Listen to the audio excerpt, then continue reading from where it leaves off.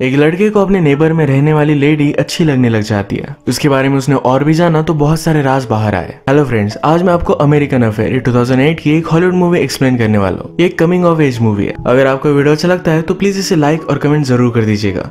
बिना किसी तरीके एक्सप्लेनेशन स्टार्ट करते हैं। मूवी स्टार्ट होती है और हम हमारे मेन कैरेक्टर एडम को देख सकते हैं। एडम अपने स्कूल में था। वो अपने फ्रेंड से कहता है कि वो लड़का तुम्हें गे बुला रहा है। कि इसके बारे में तुम कुछ भी नहीं करोगे? वैसे भी तुम कुछ कर भी नहीं सकते। इस तरीके से चिढ़ाने के बाद एडम के फ्रेंड ने उस लड़के को बहुत मारा। जब ये फाइट खत्म हुई तो एडम को भी मारता है। एडम एक कैथोलिक स्कूल में पढ़ता है तो वहाँ की सिस्टर वहाँ पर आई और इन दोनों को लेकर जाती है। इन दोनों को एक दिन के लिए डिटेंशन में डाल दिया गया था। एडम का फ्रेंड उससे बहुत ही गुस्सा था, क्योंकि उसकी वजह से फाइट हुई थी। एडम भी रियलाइज़ करता है कि उसका यह करना बहुत ही गलत था तो उसे वो सॉरी भी कहता है। आज जो फाइट हुई थी, इसमें एडम का टीथ टूट चुका है। वो घर जाकर इसे ग्लू से चिपका लेता है। रात में डिनर करते हुए कुछ न्यूड मैगजीन्स वो पढ़ रहा था, तभी अपनी नेबर पर उसकी नज़र पड़ती है। उसकी नेबर हमारी और एक मेन कैरेक्टर है, जिसका नाम है कैथरीन कैथरीन किसी आदमी के साथ थी। उसने कुछ ज़्यादा पहना नहीं था। एडम उसे देखकर एक्साइटेड हो गया। वो अपने आप को प्लीज़ करता है। वो कैथरीन को लेकर बहुत ही क्यूरियस था। अपनी स्कूल खत्म हो जाने के बाद उस पर वो नज़र रखता है। अपनी दूरबीन से उसके घर पर कौन आता है, कौन जाता है, इसके बारे में उसे पता चलने लग गया। एक दिन जब वो घर पर नहीं थी तो जाकर उसका मेल वो लेकर आया। इस मेल में उसे प्रेसिडेंट कैनेडी का लेटर मिलता है।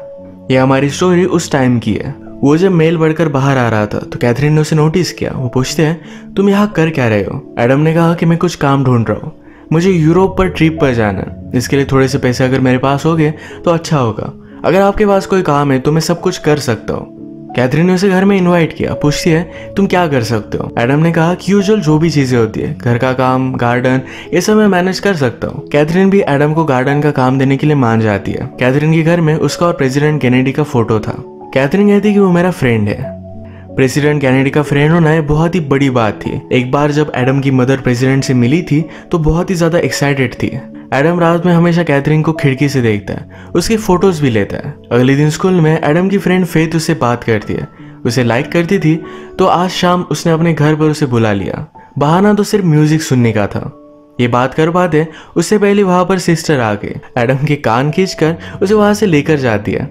घर आने पर एडम कैथरीन के पास पहुँचता है। उसे कहता है कि आपने मुझे गार्डन का काम दिया था। कैथरीन के घर में एडम ने बहुत सारी पेंटिंग्स देखी। ये सब कैथरीन की पेंटिंग्स थी। एडम कहता है, इसमें तो सिर्फ़ मुझे कलर दिखाई दे रहे हैं। उसे कुछ भी लोग वगैरह कुछ भी इसमें दिखाई नहीं देते। कैथरीन कहती है, तुम्हें उसमें जो भी देखना है, वो तुम देख सकते हो। वैसे भी इसका फॉर्म डेड हो चुका है। इसका मतलब है, ये स्लोली स्लोली मर रहा है।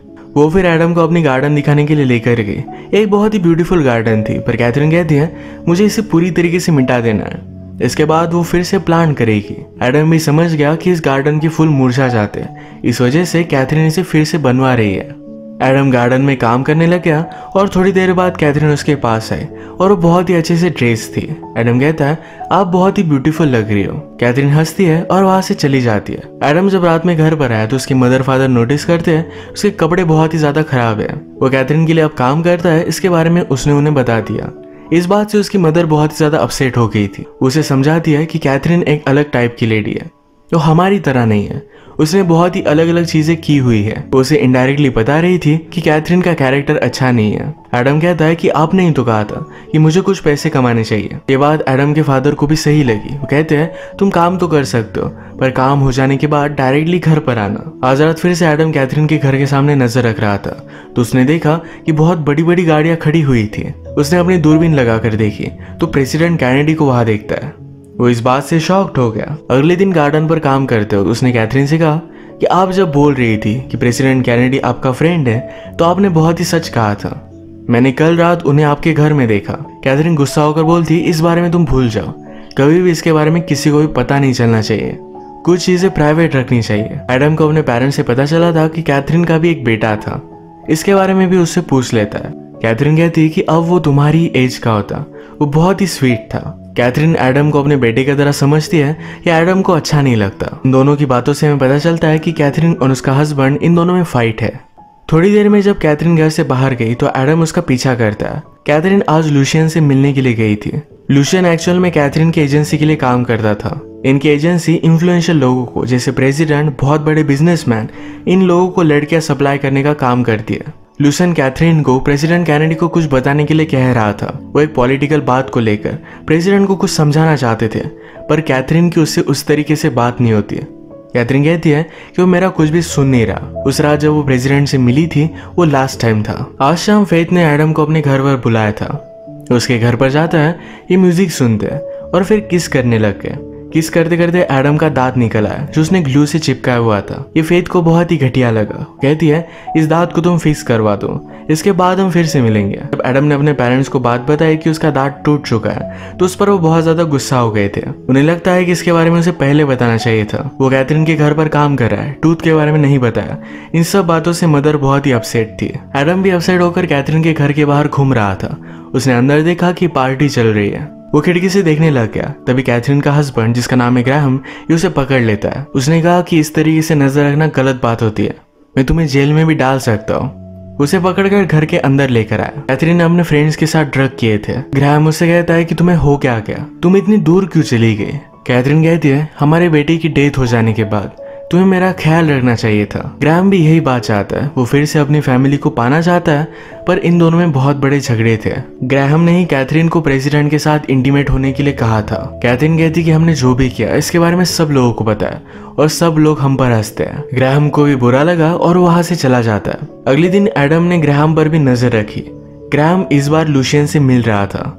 ये दोनों डिस्कस कर रहे थे कि कैथरीन का क्या क्या जाए। ग्राहम लुशियन से कहता है कि कैथरीन के पास एक डायरी है। उसके साथ जो भी होता है, इस सब के बारे में उसमें लिखती रहती है। ये डायरी होना एक बहुत ही बड़ा रिस्क था, पर ये कैथरीन के लिए एक सेफ्टी है। अगर उसकी एजेंसी ने उसे हर्ट करने की कोशिश की तो सारी चीज़ों एक्सपोज कर सकती है। इस डायरी के बारे में सुनने के बाद कैथरीन जब घर पर नहीं थी तो एडम उसके घर में आ जाता है, डायरी को ढूंढ लेता है। अचानक से कैथरीन भी किसी और के साथ वहाँ पर पहुँच गई थी। एडम क्लोजेट में छुप गया और उन दोनों को इंटीमेट होता देख रहा था। उस आदमी के जाने के बाद कैथरीन ने कहा कि मुझे बताया कि तुम यही हो। तुम्हारा बैग बाहर ही पड़ा था। एडम उसे सॉरी कहता है, पर कैथरीन ने कहा, तुम सिर्फ़ क्यूरियस थे। वो उसे वॉर्न करती है कि फिर से ये सब होना नहीं चाहिए। आज रात एडम और उसके सब फ्रेंड्स की पार्टी थी। इसमें वो एक गेम खेलते, जिसमें एडम और फेद को दोनों को एक मिनट के लिए क्लोजेट में जाना पड़ता है। एडम ने फेद से कहा कि मैंने अपना टूथ फिक्स करवा लिया इसके बाद वो किस करने लग गए जिस तरीके से एडम ने कैथरीन को इंटीमेट होता देखा था, उसी तरीके से वो फेथ के साथ भी इंटीमेट होना चाहता था। पर इस बात से फेथ जरा अनकंफर्टेबल हो गई। वो उस पर गुस्सा होकर वहाँ से चली जाती है। एडम जब घर पर आया तो कैथरीन के घर से बहुत ही लाउड म्यूज़िक चल रहा था। उसे देखने के लिए वो पहुँच जाता है। वो बाहरी बारिश में भीग रही थी। वो एडम को देखकर उसके साथ घर में आती है। वो ड्रिंक ले रही थी तो उसने एडम को भी ड्रिंक ऑफ़र किया। इसके बाद वो एडम के साथ पेंट करने लग गई। एडम ने कैथरीन को किस करने का ट्राई किया, पर कैथरीन उसे रोक लेती है। इसके बाद ये दोनों पेंट से ही खेलने लग गए। सुबह मॉर्निंग में हम देखते हैं कि एडम के पेरेंट डिस्कस कर रहे थे। एक्चुअल में एडम के फादर का एक न्यू जगह पर ट्रांसफ़र हुआ था। मदर एडम के लिए जरा वरीड थी कि अकेले उसे किस तरीके से मैनेज करेगी। जब वो उसे उठाने के लिए गई तो उसके सारे कपड़े कलर से भरे हुए थे। इस बात पर वो बहुत ज़्यादा गुस्सा हो जाती है। वो रात में कैथरीन के पास था। ये बात पता चलने के बाद वो फादर से कहती है कि अभी के भी उसके पास जाओ। उसे कहो कि एडम से कोई भी रिलेशनशिप ना रखे। एडम को कोई भी काम करने की ज़रूरत नहीं है। फादर जब कैथरीन के पास पहुँचे तो लुशियन वहाँ पर आया हुआ था। लुशियन उससे बात करता है तो फादर के बारे में लुशियन को सब चीज़ें पता थी। यहाँ तक कि उनका ट्रांसफ़र भी होने वाला है, इसके बारे में वो बोल लेता है। ये सब बात सुनकर फादर बहुत ज़्यादा डर गए थे। उन्होंने कैथरीन से कहा कि प्लीज़ एडम को कोई भी काम मत देना। कैथरीन भी इस बात के लिए मान जाती है। घर पर आने पर फादर भी एडम पर बहुत ज़्यादा गुस्सा हो गए थे। वो कहते हैं, कैथरीन से कोई भी रिलेशनशिप अब तुम्हें नहीं रखनी है। तुम स्कूल जाओगे और सीधा घर पर आओगे। आज लुशियन कैथरीन को समझा रहा था। कि तुम प्रेसिडेंट को समझाने की कोशिश करो। कुछ ना कुछ तो चीज़ें बदलनी चाहिए, वरना प्रेसिडेंट को ही बदलना पड़ेगा। कैथरीन समझ गई कि कुछ ना कुछ तो गड़बड़ होने वाली है। उसने प्रेसिडेंट को कॉल कर कर वार्न करने की कोशिश की, पर उसे पूरी तरीके से वो इग्नोर कर रहे थे। रात में वो व्हाइट हाउस पर भी जाकर आती है। वहाँ के गार्ड से उसने पूछा, अगर प्रेसिडेंट को कोई गोली मार रहा हो, क्या तुम उसके सामने आ जाओगे? गार्ड कहता है, मैं मेरी ड्यूटी ऑनेस्टली करूँगा. इसके बाद मूवी में प्रेसिडेंट कैनेडी का असैसिनेशन हो जाता है। एडम को जब ये बात पता चली तो कैथरीन के पास आया। वो बहुत ही डिस्टर्ब थी, रो रही थी। एडम उसे सहारा देता है। कैथरीन कहती है, इसमें मेरी गलती नहीं थी। मैंने उसे वॉर्न करने की बहुत कोशिश की थी। मौके का फ़ायदा उठाकर एडम कैथरीन के साथ इंटीमेट होना चाहता था, पर कैथरीन गुस्सा होकर उसे वहाँ से निकाल देती है। कैथरीन को पता चला कि उसकी नोटबुक गायब है। ये उसके लिए बहुत ही इंपॉर्टेंट थी। वो एडम के घर पर आई, पर मदर उसे बात करती है। एडम से उसे मिलने नहीं देती। है कैथरीन ने कहा कि एडम के पास मेरी एक चीज़ है, प्लीज़ उसे वापस करने के लिए कहिए।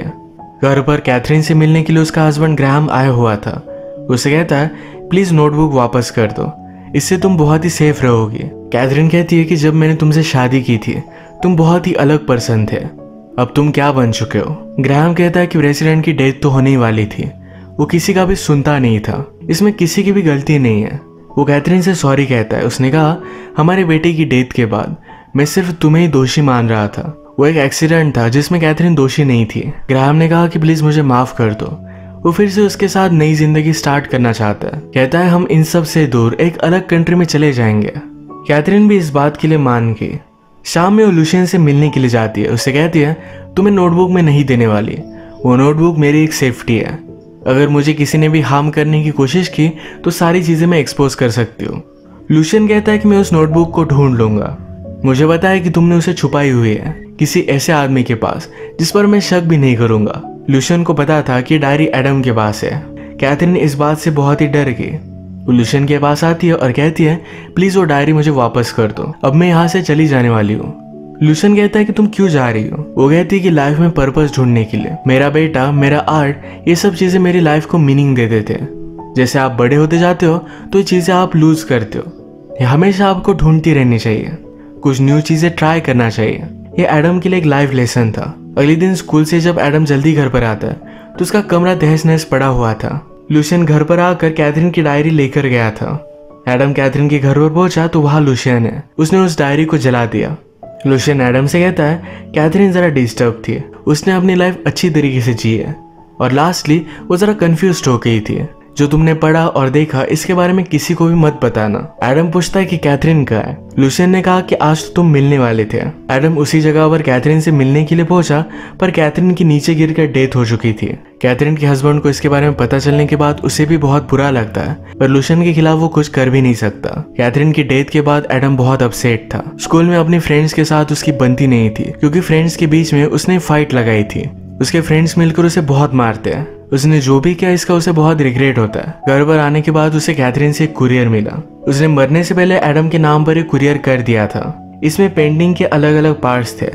इस पार्ट्स को जोड़ने के बाद एडम की पिक्चर बनी। कैथरीन के डेथ के बाद एडम को समवॉट एक क्लोजर मिल जाता है। इस एक्सपीरियंस से वो सीखेगा और आगे बढ़ेगा। इसी के साथ ये मूवी एंड हो जाती है। अगर आपको वीडियो अच्छा लगा तो प्लीज़ इसे लाइक कर दीजिएगा। ये बहुत सारे मूवीज़ लेकर आते रहता हूँ तो प्लीज़ इस चैनल को सब्सक्राइब कर दीजिए और बेल नोटिफिकेशन आइकन दबाने मत भूलिएगा। हम फिर से मिलेंगे और एक नई मूवी के साथ। तो देखिए थैंक यू और आप अपने आप का ख्याल रखिए।